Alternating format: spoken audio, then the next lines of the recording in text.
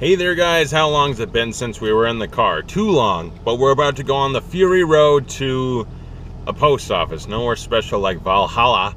But uh, you like my thing? It's Batman. It goes on the window to protect from the car getting too hot, but it doesn't work because it's boiling his balls out. It's just too, it's too fucking hot. And my car doesn't have AC, so uh, I'm gonna, I'm gonna melt before the video ends. It was a while ago though, and now we're back and I'm trying to think of a topic to talk about while I drive because otherwise there's gonna be nothing in this video. We're going to pick stuff up. We're on a P.O. Box run or P.O. Box pickups, whatever it's called. Probably just P.O. Box pickups because alliteration kids. I'm essentially living in Interstellar I'm living on the dust ball because that's what it is. There's been no rain hardly. There's been like a little drizzle, a little tease. And because of that, it's so dry, it's just windy and dust. So it's dust wind. I might as well be living in the desert. It's like, it is, it's like interstellar. And I'm sitting here in my Matthew McConaughey shirt like, all right, all right, all right, gotta go find a new planet. Hey, you wanna, you wanna start life on a new planet? Be a lot cooler if you did. Oh, Someone was very nice to me the other day and was like, you deserve more subscribers. And I, honestly, when people say stuff like that, it just trips me out because I only do the, these videos, well, first off, because I like doing them because I like talking about movies and stuff, but I do it because I just crave like to feel special in some way, as we all do, I imagine. I have ever living to be fucking patted on the back and like, you did a good job. Like stuff like that. So when people like, your videos are awesome, man, or you deserve more subscribers. It just, it, I got emotional actually when I read it. Seriously, like, ah, it, it does. It trips me out. It's like, because I do. I feel a little bit special, and it's nice. And and the person was saying like, no, seriously, I saw your video and I thought you and Chris Stuckman would be friends. I'm like, wouldn't that be fucking awesome if I was friends with Chris Stuckman? Except he lives in Ohio and I live in Alberta, and I would actually have to look at a uh, American map to figure out where Ohio is. I think it's in the middle. I'm not friends with Stuckman, but I am friends with John Flickster, or the Flick Pick Flickinger, whatever you call him. And um, little known fact, I am in fact his illegitimate child.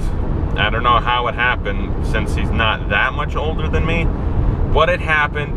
And to be honest, like he is Batman and I am Robin, but I'm not like the cool Robin. I'm well, technically, if I'm his son, I would be Damian Wayne, but I'm not. I'm more like Jason Todd because he's awesome Batman, and I'm Jason Todd, and I'm gonna die like gruesomely at the hands of the Joker, and he'll just move on and replace me. Essentially, that's how I think of it. But anyway, what are we going to pick up? P.O. Box pickups? Uh, I'm not sure, actually. It depends what came in. I think there's a movie, a Blu-ray, a special Blu-ray, a video game, and then maybe some other things, you know, get your ass to the P.O. box. I can't, that's a hint. But it's it's not movie related. I should probably get gas. It's actually like right at the bottom. I feel like Kramer and Seinfeld where it's like, no, the bottom thing doesn't mean anything. We're gonna push it to the limit and I'll get another 20 miles or kilometers out of it when it's on empty. And I would loved to open the packages while driving. Maybe I'll do that with one. And I am I'm 90% sure that I know what's in here. I was wrong. it's in the other box. But this is cool too, I guess.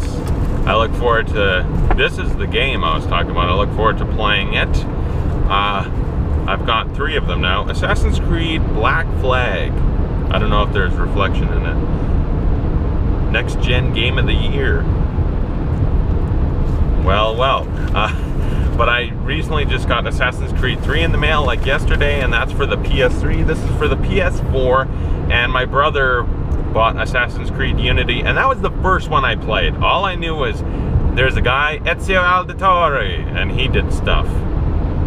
And then there was the third one, Connor Kenway, and this one, Edward Kenway, who is a pirate, I think. Uh, but the thing about Unity is it gives you a lot of old costumes, so your guy in that Arno, you can dress up like Connor or Edward or um, Altair, who I guess is from the first one, I'm not sure, just the original Grandmaster Assassin, whatever. Then you can dress up as Ezio, you can dress up as Shay, who is the villain in, um, spoilers, but he's the villain in Unity, but he's the main guy from Assassin's Creed Rogue. I've just been like Wikipediaing everything to try to catch up. So like he's the main guy in Assassin's Creed Rogue and that game ends with him killing a certain person and then this game begins, turns out that person was your dad and that sets up your whole thing. Which Assassin's Creed Unity is just a ripoff of Batman. Young boy, his dad's killed and then he becomes a vigilante who goes out for justice or whatever.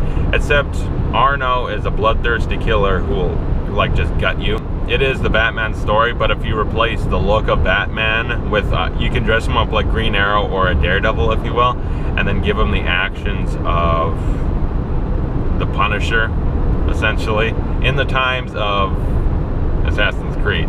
Yeah, it's very complex, but it's fun enough. But I'll tell you something about that game, and I hope I don't feel this way about um, Black Flag and number three it's so fucking annoying when you're in a fight and it's like, yeah, you're there's a lot of people, so it's kind of hard keeping up with all the blocking. And then like three assholes pull out guns and like, so you keep rolling, and it's just no, this guy's gonna shoot you. Now this guy's gonna shoot you, and you die. It's like motherfucker, I want to have a fight, and these pricks are pulling out guns. Or there's the asshole snipers really far away, so it's like I'm in a fight, and there's a dude like if I were to get him, I'd have to run all the way over there, climb up a building to get him and if I try to do that, the people on the ground are gonna shoot me, and if I don't worry about the sniper, then he's gonna shoot me. Like, it's annoying, the guns half the time. You die so many fucking times in that game. You die a lot.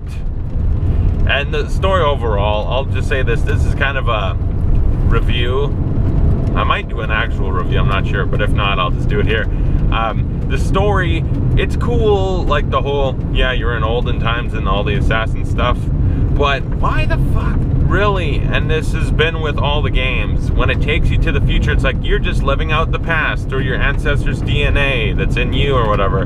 That just sucks you out of the game. It's like you're enjoying it and then immediately taken out of it, like something cool happens. Oh, now run. It's all falling apart. Jump through this portal. Now you're in Nazi Germany or Paris for no reason, just to get up to another portal, take you back because it's like Inception, I guess. It's it's lame. It's like really, you're they're trying to add cool stuff like, oh, this will be cool, like Inception, but it, all it does is take you out of the game. The other box of mine, real quick.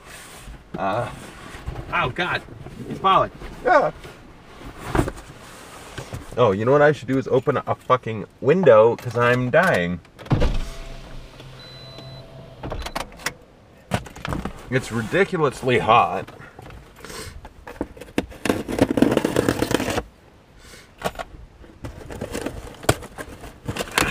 just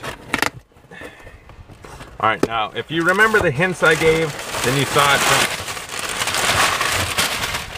paper snake um, this first thing is Tits McGee the Drive Steelbook Best Buy exclusive or Future Shop exclusive I think it's like old so I had to get on Amazon like there was the other one where it's just his face from the side with the toothpick which was cool but this one Come on, that's fantastic. And it's like, I already own the movie, but I'll double dip for something that looks this cool.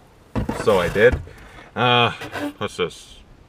Arnold pre-workout fruit punch. I, I like pre-workout, but that Mr. Hyde stuff, it tastes like ass. So, and I've tried C4, because my mom takes C4, and that stuff tastes good. So I'm hoping Arnold's tastes good, because if it tastes bad, then I'll, I guess I'll do C4. And uh, this thing's fucking heavy. Oh my god, this is twice as heavy as the other ones because it's bigger. Arnold whey protein, the biggest kind, and it's strawberry banana. It's bigger than my head. Oh yeah, get the pump, come on, just do it. Oh, coming everywhere. Yeah. um, I was thinking about getting Arnold's, uh, what's it called, mass gainer. And I'm like, I'm still trying to lose weight, like fat.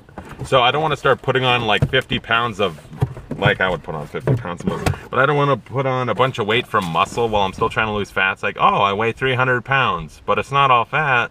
It just seems counterintuitive. So if I ever, like when I eventually, God knows how long it takes, when I get to be really thin, and lean, then I'll start taking the mass gainer stuff. Yeah, basically a box full of Arnold. Uh, that could have a sexual connotation to it. A box full of Arnold. You put Arnold in that box, yeah. Uh, and a game and a Fantastic Steel book. And there's two other boxes, but they're not mine, so I won't open them. Hope you guys like these P.O. Box pickups, because if you didn't, well, it's too late. The video's over, so I can't really fix it. Um, gonna be a Blu-ray, DVD update, stuff like that, because there's other things that I picked up a couple days ago that I didn't film. So, with like blue new Blu-rays and movie stuff like that, if you watch these, generally I'll try not to film me picking up everything, because I want to have some surprise. Like this would have been a good surprise, but not everyone that watches the Blu-ray videos watch these, so I guess it will be a surprise still. I don't know. Uh, yeah. And uh, you know, what the hell's that? you know how I always like to say, oh yeah, stay tuned because this is going to come out. I'm not, I'm done doing that. You know what? I don't like teasing you guys because how long have I been teasing my top 10 films of the year, which I do actually plan on filming now, that it's halfway through 2015. Timing is horrible for me. And uh, top 10 Stallone, I just have to watch Tango and Cash, and essentially I'm good. And I guess Rambo 3. And then also There Will Be Blood. I'm going to review that because someone asked me to, and it took me a long time, but I'm getting around to that. But after those, like, I'm not teasing anymore. Unless, like, the video's done and I plan on posting it. Because, like, me saying, I'm going to do this video and then never getting around to it is annoying. So, for now on, you guys, I'm going to treat you like, I'm to treat you with secrecy. I'm keeping you in the closet. You're never to know what's happening. And it's just to be constant surprises. Maybe that'll make people want to watch my videos more. Because for 400 subscribers and some that I have now, not all, not even half of them watch all my videos. that was odd. Anyway, yeah, come below, tell me thought the pickups and all that. I keep hearing something. And thanks for watching. I'll see you guys later.